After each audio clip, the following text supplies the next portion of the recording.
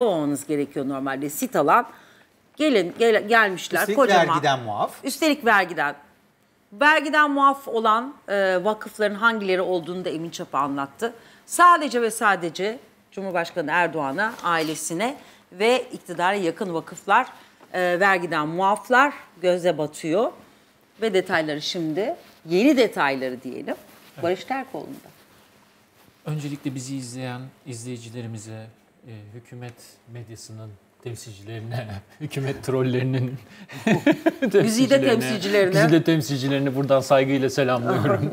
Ben hemen söyleyebilir miyim? Barış şimdi söylemiyor. Sayın seyirciler, Nun Vakfı'na ait detayları anlattığı için e, sevgili Barış'ı linç ediyorlar.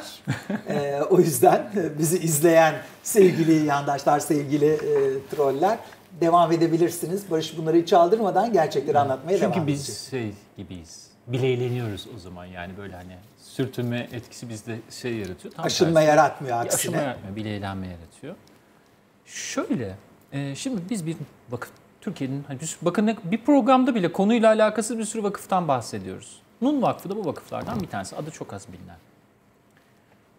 Nun ne demek bu arada? Sen dile meraklısın. Ben yarınki yazıda onu yazdım. Bir dakika geçen hafta geçen programda sordum onu konuşamamıştık. Nun bir Tabii. har- nun bir Nun da harf. bir acayip e, Nun bir A- Arap A- Osmanlıca'da da Arap alfabesi hatta İbranice'de de olan bir harf. Nun ben oturup o kelimenin kendi kökenine de çalıştım. Sen dile çok meraklısın. Mısır hieroglif, hierogliflerinden geliyor. Kıvrık, kuyruğu kıvrık balık. Balık demek aynı zamanda nun. Oradan gelen bir şey. Ben de o balık esprisi üzerinden bir şey yazdım yani. Gazetede, Cumhuriyet Gazetesi'nde. Ama bu Nun Vakfı'nın özelliği, yani bu büyük balığın özelliği bir aile vakfı olması Türkiye'nin son dönemindeki gibi. Geçen hafta söylemiştim yani kurucuları Berat Albayrak, Cumhurbaşkanı damadı. Ee, Serhat Albayrak damadının abisi. Bugün de biliyorsunuz Turkuaz Medya'nın başında olan kişi. Ömer Faruk Kalyoncu da aynı zamanda Turkuaz Medya'nın sahibi olan kişi. Yöneticileri de Esra Albayrak, Cumhurbaşkanı'nın kızı. Tamer Yılmaz. Tamer Yılmaz burada Yıldız Teknik Üniversitesi'nin rektörü. Yakın zamanda seçilmiş rektörü. Gökçe Kalyoncu da Kalyoncu ailesinin Ömer Faruk Kalyoncu'nun da mensup olduğu ailenin gelini. Şimdi böyle bir aile arasında vakıflardan bir tanesi. Geçen program söyledim. 3 Ekim 2014 tarihli resmi gazetede kuruluş ilanı yayınlanıyor. Kuruluş sermayesi 150 bin lira. Biz neyi ele aldık? Yani ben yazımda ve burada neyi anlattım? Burada Beykoz'un Dereseki mahallesinde 8. hafta 360 parselde kayıtlı bir arazi var. Bu arazi, Nun Vakfı bu arada 355 ve 356. parsellerde kurulu bir okulu var. Yani bu parselde değil başka bir parselde kurulu okulu var. Geçelim arkadaşlar o görsele. O 360. parseli yani okula komşu olan parseli İstanbul Büyükşehir Belediyesi'nin Kiptaş'ından, Kiptaş iştirakinden kiralıyor. Üç parça halinde kiralıyor. Geçen program söyledim. 197.737 metrekarelik kısmı aylık 12 bin lira artı KDV. 57.900 metrekarelik kısmı aylık 5 bin 905 lira artı KDV. 12.221 metrekarelik kısmı ise aylık 1215 lira artı KDV. Toplamda o 360 numaralı parsel 500 küsür met- bin metrekarelik bir alan. Oranın 267.858 metrekarelik kısmı devasa bir alan. Toplamda aylık 19.120 lira artı KDV kiralıyor. İBB yönetimi değişince, bu arada bu kiralama Aralık 2018'de gerçekleşiyor. Yani yerel seçimlere çok kısa bir süre kala.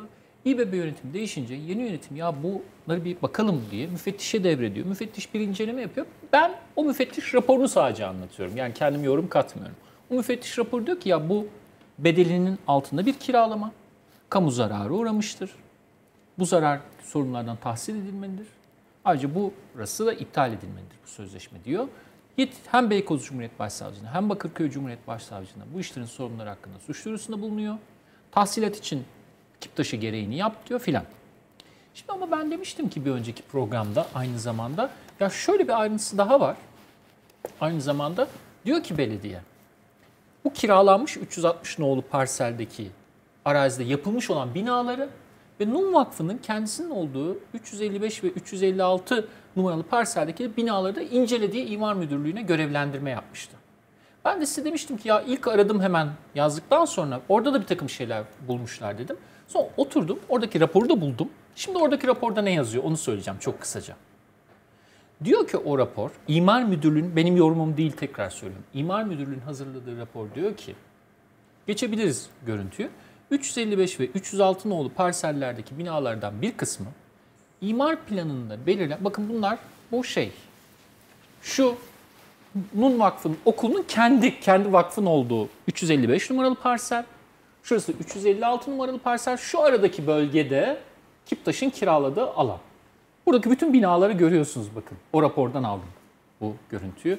Kamelyasından kümese kadar, binalara kadar, güvenlik kulübesine kadar her şeyi görüyorsunuz. Bunları belediye incelemiş tek tek. Belediyenin imar müdürlüğü incelemiş. Ve kaç tane ne binası var, kaç metrekare, imar izni ne kadar hepsinin listesini çıkarmış. Ve sonunda şu sonuca varmış. Bu 355 ve 356 yani Nun Vakfı'nın okulunun hali hazırda kullandığı arazide taban alanında rapordan okuyorum 432 metrekare toplam inşaat olaraksa 1506 metrekare fazla inşaat yapılmış diyor. Ondan sonra ikinci olaraksa 360 nolu parsel yani kendi kiraladığı parselde halkın kamunun arazisini kiraladığı parselde ise spor alanı, ahşap sera, güvenlik kulübesi, uzay gözlemevi gibi işlerde kullanılan toplam 3277 metrekare ruhsatsız yapı tespit ettik diyor. Topladığınızda yaklaşık 4000 küsür 5000 metrekareye yakın bir e, belediyenin tabiriyle imar planlarına aykırı yapı keşfettik diyor. Kim söylüyor? İstanbul Büyükşehir Belediyesi İmar Müdürlüğü'nün kendisi hazırladığı raporda, belediyeye verdiği raporda söylüyor.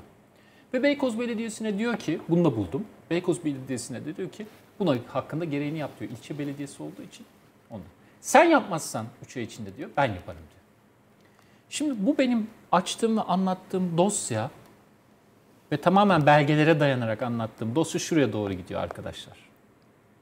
Şu olacak belki de.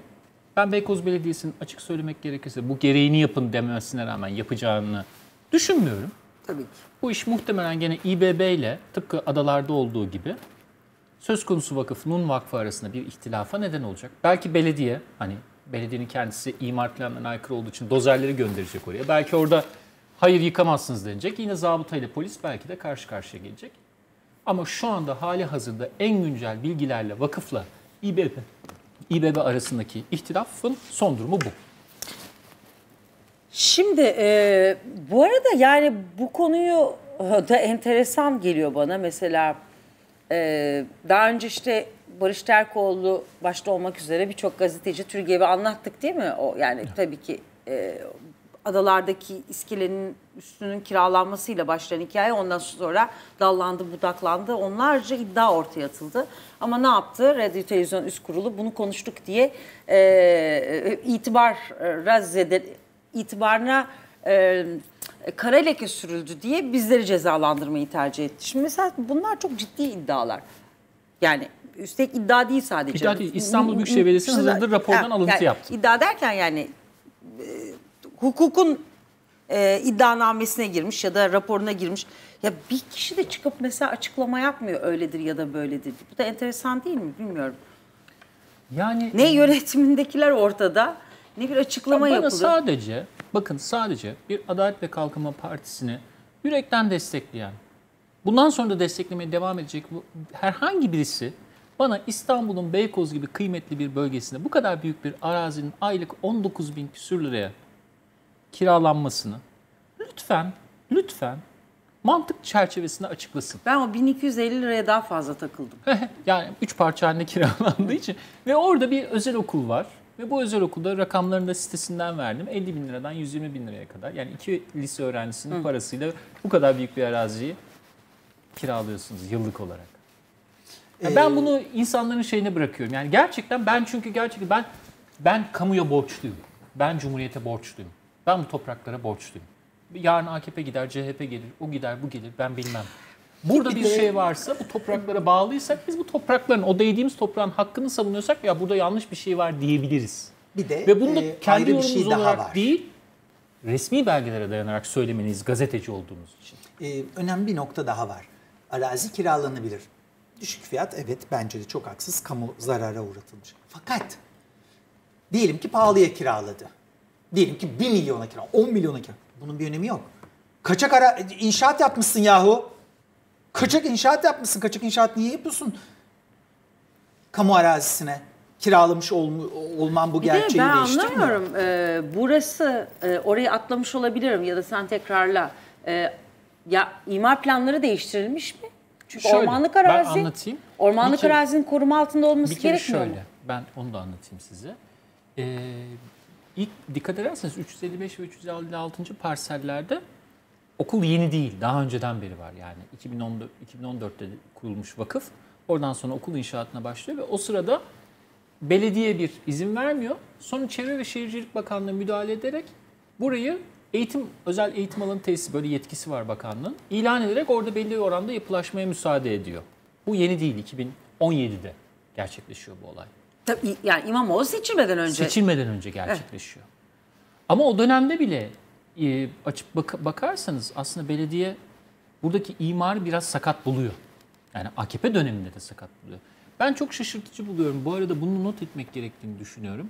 Acaba Kadir Topbaş'ın Ben de şimdi sana tam bunu soracaktım. bu grupla yaşamış olduğu gerginlikte bu tip olayların etkisi var mıdır diye ben okurken dosyayı Grupla düşündüm. derken? Yani sonuçta hani Berat Albayrak, Serhat Albayrak, Kadir Topbaş karşı karşıya geldiler. Nihayetinde o dönemde de belli ki Adalet ve Kalkınma Partisi içinde de buna itiraz edenler olmuş. Bir şey daha. Bugün konuk olacaktı Selim Temurci. Ben bu yazıyı yazdıktan sonra sosyal medyada bu yazıyı paylaştı ve kendisi "E ben bu, bu olaylar yüzünden zaten bu yapıyla karşı karşıya geldim dedi özetle. O dönem hatırlayın 15 Temmuz gecesi dahi Selim Temurci Adalet ve Kalkınma Partisi'nin İstanbul İl Başkanı'ydı ve bu yapıyla tartışıyordu. E, e, Erdoğan Bayraktar açıkladı zaten bir sürü sonrasında e, TOKİ Genel Müdürü'ydü, arkasından Çevre ve Şehircilik Bakanı oldu. Onun e, mesela açıklamaları da hiç e, kale alınmadı diyelim. Yaptı yani savcılık soruşturmaya gerek görmedi. Bir kez daha hatırlatalım ama o dönemde muhtemelen onun da e, sıkıntıları oldu. Yani o dönemin aydınlatılması gerekiyor her bakımdan. Belediye başkanları, bakanlar, Çevre ve e, Şehircilik Bakanları, Ulaştırma Bakanları acaba ne gibi ne gibi e, belgelere imza atmak durumunda kaldılar. Kemal Kılıçdaroğlu'nu